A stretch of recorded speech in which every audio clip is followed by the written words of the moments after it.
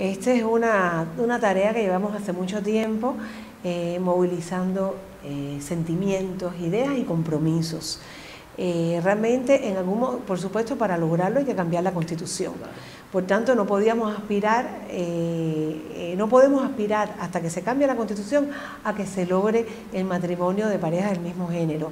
Pero por eso, eh, en los cambios que proponíamos al Código de Familia, estaba incluido lo que yo digo, curitas, parchecitos, algunas posibilidades que mejoraran el que no se transgredieran los derechos patrimoniales, cuando alguien, un miembro de la pareja que no había dejado la herencia eh, garantizada, eh, por lo menos la otra persona no perdiera lo que habían adquirido en su vida en pareja.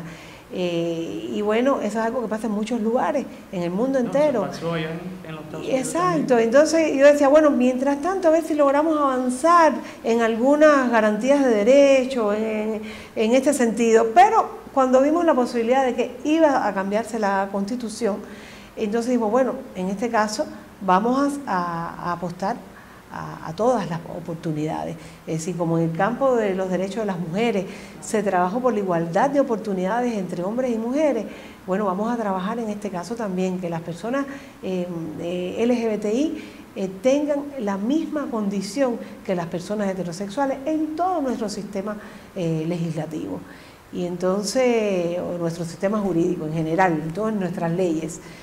Y bueno, eh, es lo por lo que hemos estado trabajando. Ahí el Programa Nacional de Educación Sexual tiene un grupo de trabajo de los temas políticos jurídicos donde participan un montón de juristas de distintas instituciones que ya tienen propuestas concretas que hacemos para los momentos oportunos irlas presentando.